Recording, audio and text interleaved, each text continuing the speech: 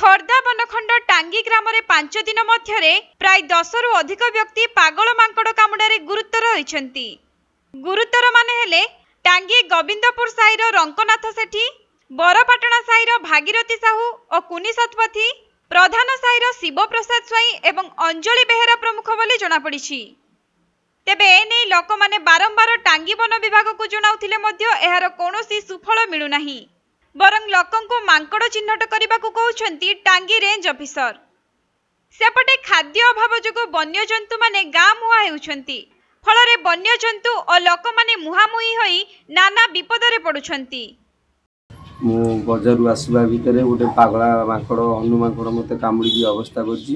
ଯାହାକି ମୋ ହାତର ଶିର ଫିର ଭେନ୍ ଫେନ୍ ସବୁ ଛିଣ୍ଡେଇ ଦେଇଛି ଆଉ ଟାଙ୍ଗୀ ହସ୍ପିଟାଲ ମୋତେ ଏମ୍ସ ହସ୍ପିଟାଲ ପଠାଇବାରୁ ସମାଜସେବୀ ଟାଙ୍ଗୀର ଶ୍ରୀଯୁକ୍ତ ବସନ୍ତ ସାହୁ ମୋତେ ତାଙ୍କ ଜରିଆରେ ଭୁବନେଶ୍ୱର ପଠାଇ ଏକ ଭଲ ହସ୍ପିଟାଲରେ ଚିକିତ୍ସିତ କରି ଆଣିଛନ୍ତି କେତେ ଦିନ ହେଲାଣି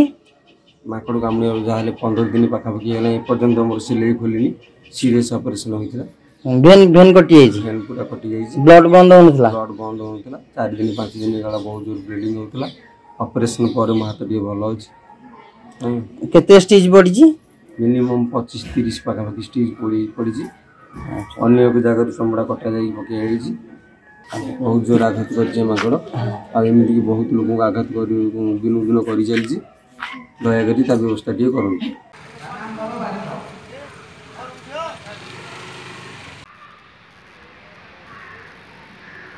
ମୁଁ ଯେତେ ଲୁଗାଟା ଘୋଡ଼ଉଛି ସେ କାଲି ମୋତେ ଆମ୍ପୁଡ଼ା ଆମ୍ପୁଡ଼ି ଭିଡ଼ା ଭିଡ଼ି କରିକି